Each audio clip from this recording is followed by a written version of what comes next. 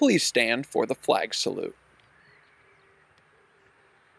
I pledge allegiance to the flag of the United States of America and to the republic for which it stands, one nation, under God, indivisible, with liberty and justice for all.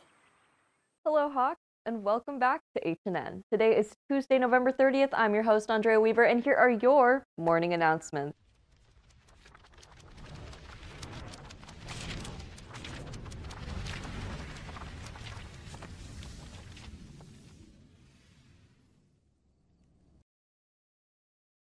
Kicking off with sports today, on November 20th, the Laguna Hills boys cross country team finished first in the CIF Southern Section Cross Country Championships at Mount San Antonio College. With the win, the Hawks advanced to the CIF State Championship meet at Woodward Park in Fresno on November 27th, where they finished sixth in the state, led by Lucas Rael and Jaden Cornejo, who finished 34th and 42nd, respectively. And not to be outdone, our girls cross country team also finished sixth in the state last Saturday, led by Holly Barker, who finished sixth overall and led all the other freshman runners in the D4 race with a time of 18:12.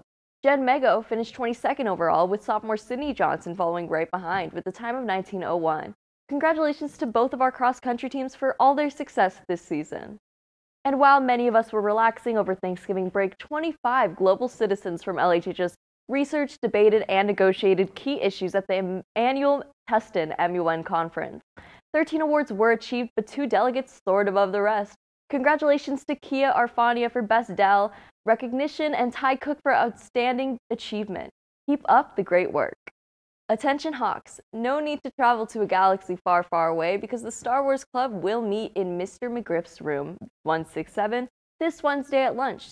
So bring your lunch and may the forks be with you. For any boys interested in playing volleyball, there will be tryouts on Saturday, December 11th. There are more details to come later this week, but please visit Coach McGriff in room 167 if you have any questions. Attention parents! Want an easy way to support the PTSA? Just do your holiday shopping on Amazon by going to www.smile.amazon.com and selecting Laguna Hills High School PTSA as the beneficiary. With every purchase, a percentage will come back to help support the LHHS PTSA.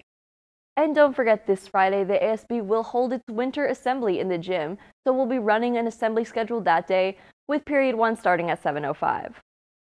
Thank you for watching HNN. No segment today, we're so sorry. Make sure to follow at lhhs.hnn for more updates, and as always, go Hawks.